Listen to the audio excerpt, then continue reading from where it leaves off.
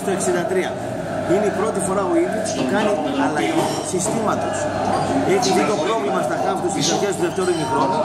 Συμμαζεύει το κέντρο του και την άμυνά του προσπαθώντας να κλειδώσει το 0. Η σοπαλία είναι καλό αποτέλεσμα. Δεν είναι κακό. Και από εκεί και πέρα πιστεύω ότι η τρίτη αλλαγή θα είναι ο, ο Μπίζεσβάρ ξεκούραστος. Για, με τον Μπίζεσβάρ θα πάρει να το χτυπήσει τώρα. Τώρα έτσι με το 3-5-2 φα- φοβερά το κλειδώνει και πιστεύω η τρίτη του αλλαγή θα είναι ο Μπίζεσβάρ στο 75 κλειδωμένο μήπως το πάρει. Είναι πολύ καλή κίνηση. Ακόμα και να χάσει, εγώ θα το στηρίξω. Θανασιάδης.